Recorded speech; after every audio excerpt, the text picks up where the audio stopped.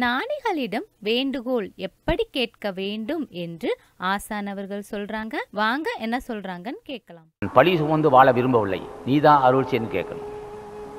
பெரிய வேண்டுகோள். ஆசானை கேட்குறோம் நான் வஞ்சித்தன் வஞ்சித்து பொருள் திரட்டினேன். பொருள் திரட்டுகிறேன் என்று பலர் சொல்லக்கூடாது. நான் நேர்மையாக வாழ ஆசைப்படுகிறேன். அதுக்கு நீ தான் அருள் செய்வேன். தொட்டோ தொடங்க வேண்டும். அப்படி ஒரு வேண்டுகோள். தலைவனே கேட்கணும் நான் அப்படி ஆசைப்படுறேன் ஐயா பிறர் பாவின்னு சொல்லக்கூடாது. பொருள் திரட்டும் போது என்னை பாவின்னு சொல்லக்கூடாது. என் பேசும்போது பாவின்னு சொல்லக்கூடாது. என் செய்கையால் நான் பாவி ஆகக்கூடாது அதுக்கு நீதான் அருள் செய்யணும். இந்த பக்குவத்தை தலைவனை கேட்டே பெற வேண்டும். தலைவனை கேட்காவிட்டால் பெறவே முடியாது. அப்போ நித்தம் தொடர்பு கொள்ளணும் அல்லவா? தினம் நாமத்தை சொல்லி விழுந்து வணங்கினாங்கன்னா புத்தி வரும். இல்லைன்னு சொன்னால் ஒரு நாள் ஏமாந்தா போதும். ஒரு ஒரு நாள் ஏமாந்தா வந்து சுமைகள் சூழ்ந்து தீய எண்ணங்கள் வந்துடும். தூய எண்ணம் எனக்கு வேண்டும். தூய மனம் வேண்டும். தூய மனம்தான் இந்த உன் திருவடியை பற்றுவதற்கு துணையாக இருக்கும் தூய மனம் இருக்குது எனக்கு தூயமாக தூயமா தூய்மையான மனம் இருக்கோ இல்லையா அது எனக்கு தெரியுது என் இதயம் கருப்பா சிகப்பா. நான் நல்லவனா கெட்டவனா? நான் பண்பு உள்ளவனா இல்லாதவனா? நான் பேராசி உள்ளவனா இல்லாதவனா? எனக்கே தெரியல. எனக்கு நீ உணர்த்த வேணும் அப்போ தூய மனம் எனக்கு இருந்தால் உன் திருவடியை பற்றுவேன் எனக்கு தூய மனம் இல்லை. தெரியுது எனக்கு. உன்னுடைய ஆசையை தவிர எனக்கு என்னுடைய உன்னுடைய திருவள் தவிர என்னை தூய்மைப்படுத்த ஆள் இல்லை.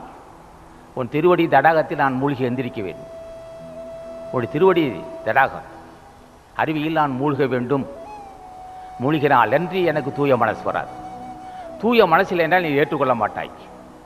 அந்த தூய மனசு உன் திருவள்ளாலான பெற வேண்டும். அது தூய மனம் அல்லது நல்ல மனம் அல்லது தயை அல்லது கருணை.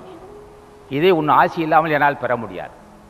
என்ன காரணம்? முன் செய்த வினை காரணமாக தூய மனம் இல்லை. இறக்க காட்ட என்னுடைய இறக்கம் இதயம் இறக்க இறங்கவில்லை. ஜீவகாரணியம் இல்லை என்று. ஜீவதெய்வம் இல்லை.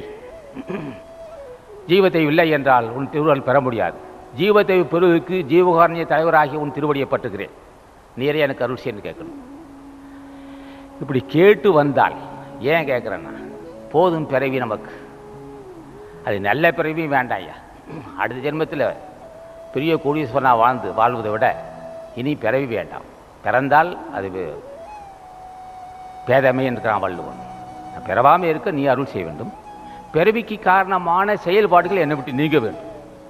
பிறவிக்கு காரணம் எதுனா பேராசை பொறாமை வஞ்சனை பொய் பேசுதல் ஏமாற்றுதல் பிறரை இகழ்ந்து பேசுதல் புறங்கூறுதல் அடாவது செய்தல். பிறவிக்கு காரணம். மீண்டும் ஒருத்தன் பிறக்கிறான்னா இந்த கொனைக்கடி இருக்குன்ற அர்த்தம். சரி இருக்கு. எப்படியா இதுலேருந்து விடுபடுவதுன்னா? ஆசானது அருளுரைகளை தொடர்ந்து கேட்க அரங்கர் டிவிக்கு லைக் பண்ணுங்க சப்ஸ்கிரைப் பண்ணுங்க. மறக்காம பெல் பட்டனையும் கிளிக் பண்ணுங்க.